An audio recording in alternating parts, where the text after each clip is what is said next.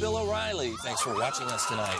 What is it with all of these Hollywood types who think that just because they're celebrities that their opinions actually mean something, especially when it comes to foreign policy? That's the subject of our Talking Points memo. Now, earlier this week, a group of C and D list celebrities headed by E list Mike Farrell, remember him from MASH? Me neither. Anyway, this group calls themselves Artists United to Win Without War, and apparently they think they know more about geopolitics than Secretary of Defense Donald Rumsfeld and National Security Advisor Condoleezza Rice combined. I guess it would be funny if it weren't so sad. But I guarantee you there is one person who is laughing his ass off at all of this, and that is Iraqi madman Saddam Hussein. And speaking of maniacal Arabs, one of the celebrities who joined this dopey group is former DJ Casey Kasem. And also joining the cause was noted military strategist Bonnie Franklin. now, I know a lot of you are probably trying to figure out who this woman is. If you guessed a clown, you're right. Let's face it, most actresses and actors are well meaning but stupid people who have never been told their ideas are bad.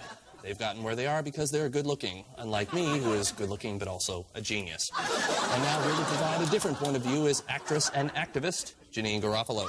I suppose I should start by giving you an apology. Why? Well, because I just said that all actresses got where they were because they're good looking, and that's clearly not the case with you.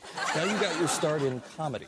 Yes, I do non traditional stand up with a satirical edge. Right. Yeah, I've seen your act. It's kind of like comedy without any jokes or anything funny being said. Now, how did you get started in the business? Did you just kind of look at yourself in the mirror one day and realize mm, it's going to have to be comedy? No, now I came here to talk about U.S. military policy on Iraq. Okay, great. Let's get to it because later on we're going to have Donald Rumsfeld in here who's going to tell you how to do a setup and a joke. Go ahead, please. Read the statement from your dopey little group.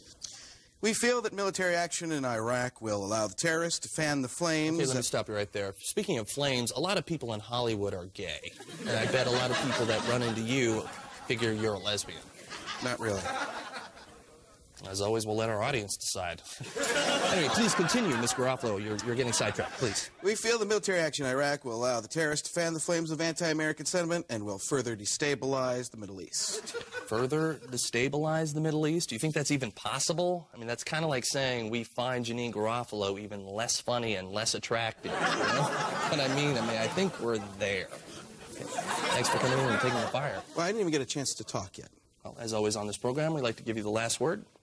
Well, and we're out of time. Thank you very much, Janeane Garofalo, for entering the No Spin Zone. We respect you. You're a good man.